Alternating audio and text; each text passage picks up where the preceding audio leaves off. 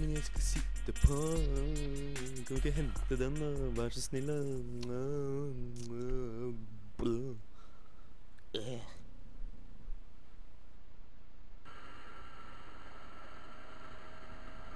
Jeg bare lurer meg forbi her. Ja.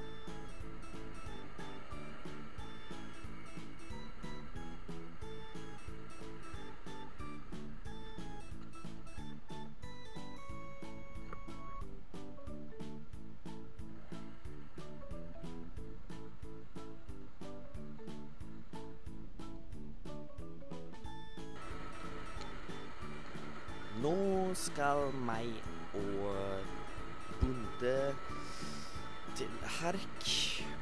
Så møte Angie og bønna. Forhåpentligvis er det sikkert flere der. Og så Å ja. Ja vel. Det skal regne nå. ja. Flott.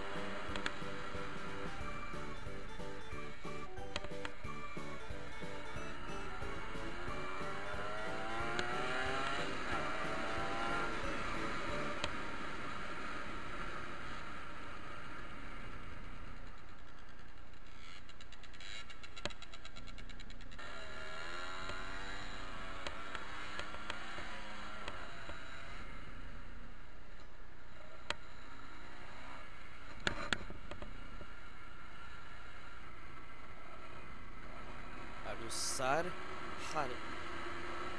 Når du skal inn der, så enten bruker du blinklys, eller så kjører du inn liksom med en gang, sånn som jeg gjorde. Dere så at eh, jeg kjørte inn med en gang.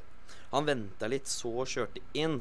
Da kjører jeg selvfølgelig liksom inn, for jeg tror at han skal rett, rett fram.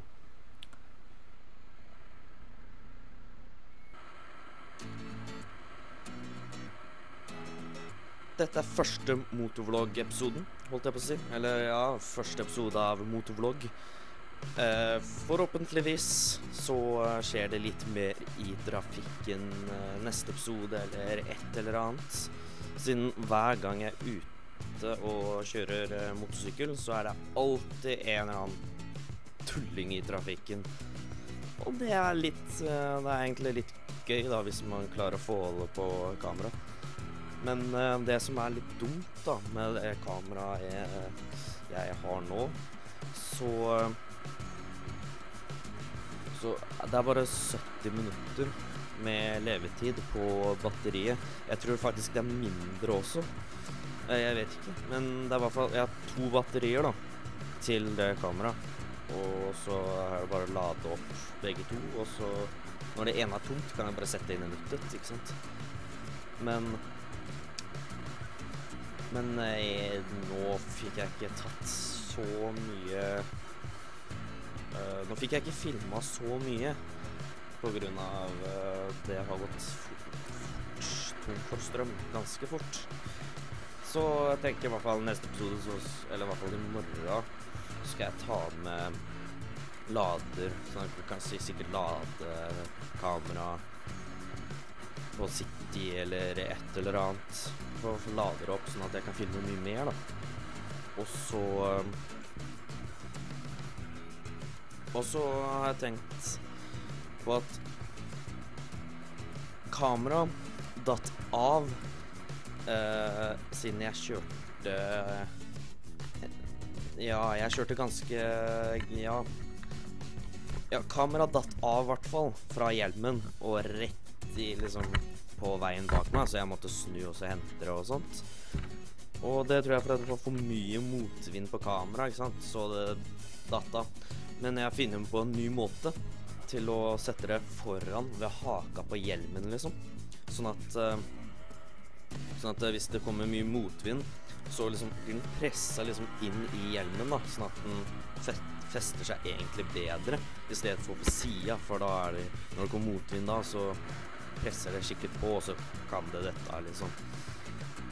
Så jeg uh, får se i hvert fall i neste episode, i hvert fall hvis jeg skal ja, I hvert fall neste episode så kan det hende at uh, det blir en litt annen vinkling på kamera. Men uh, det får vi jo se hva åssen det blir. Så får jeg også ta med det derre uh, laderen, jeg får lada litt mer opp, sånn at jeg kan filme enda mer. For det, det var faktisk en del som skjedde i dag mens jeg filma dette her. Og Og så um, men da hadde jeg ikke kamera på, og det er det som er litt dumt. Så jeg må nok lade det liksom en gang iblant mens jeg er ute, liksom. Men uh, ja Dette var i hvert fall første episode av motovloggen. Ja da. Så forhåpentligvis så blir det bedre neste gang, i hvert fall. Flere klipp og litt lengre video og litt mer som skjer. Og eh, jeg vil bare si én episode er liksom en hel dag, på en måte. Altså det er i løpet av den dagen. Så ja. Men uansett, ta og lik, kommenter. Eh, gjerne kommenter noe tips eller forslag eller noe, noe, noe sånt til f.eks. Serier, serier eller kortfilmer eh, vi kan lage til KOF. Og så eh, ja.